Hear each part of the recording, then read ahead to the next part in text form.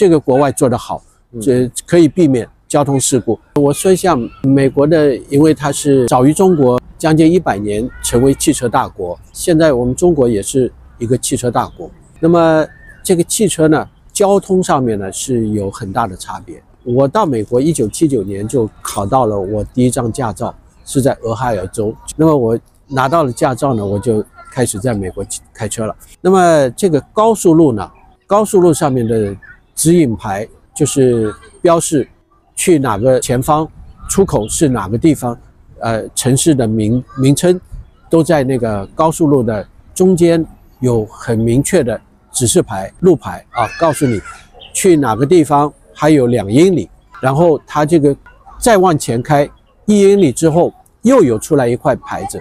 它这个牌子呢，就是把刚才告诉你的这个牌子从左边挪到了右边，同样的牌子，只是改了一下一英里。然后再过去半英里的时候呢，这个牌子不在路中间了，它就告诉你还有半英里。在最后一块呢，就告诉你这是还有四分之一英里。嗯。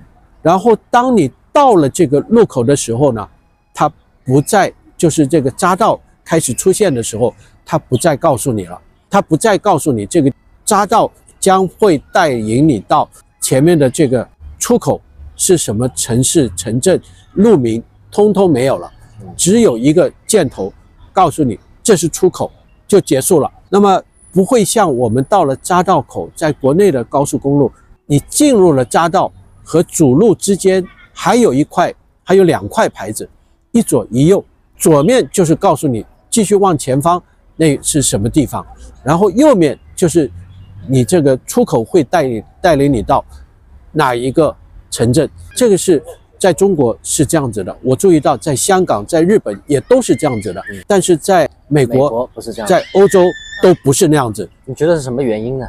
它就是避免在主道上的。车辆在那个时候突然发现那块牌子，那个地方就是刚才那个匝道，或者是我马上就要错过的这个匝道，那就是我要去的地方。那这个时候你再转方向盘，你再踩刹车，会引起后方的车辆的追尾。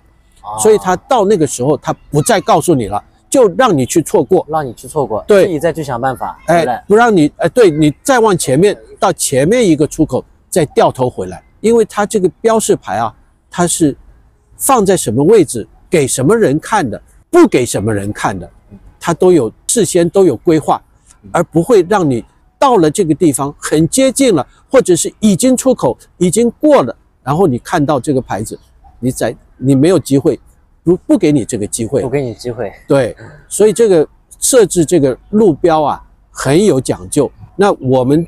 在高速路上，我们知道已经错过了出口，继续往前开。但是我们就是会在那个时候，如果你看到了这个标识牌，哎呀，我错过了，你赶紧猛踩刹车，肯定会做这个事情。对，那他就是不给你这个机会，不让你看到。那那你错过就肯定错过了。所以这个路标示牌，我已经有写信给交通部、公安部，我都有写信。